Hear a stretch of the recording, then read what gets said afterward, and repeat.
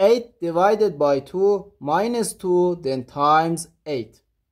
8 divided by 2 gives us 4. So 4 minus 2 then times 8. 4 minus 2 equals 2 and 2 times 8 which equals 16 but this answer is not correct because according to the order of operations which is PEMDAS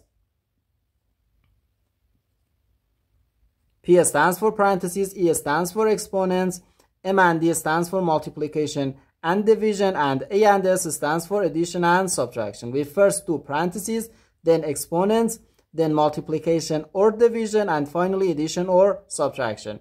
Remember that multiplication and division have equal priority and we have to work from left to right. And the same applies to addition and subtraction.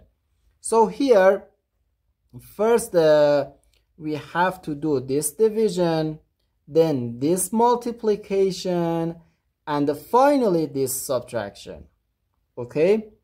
Uh, 8 divided by 2 gives us 4. After uh, division, we have to do this multiplication, not this subtraction. Because in PEMDAS, multiplication comes before subtraction.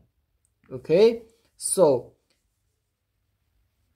8 divided by 2 gives us 4. So 4 minus 2 then times 8.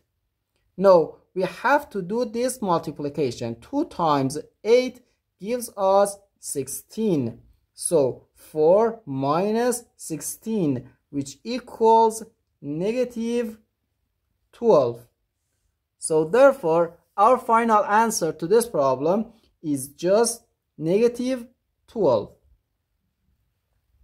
The correct answer is negative 12.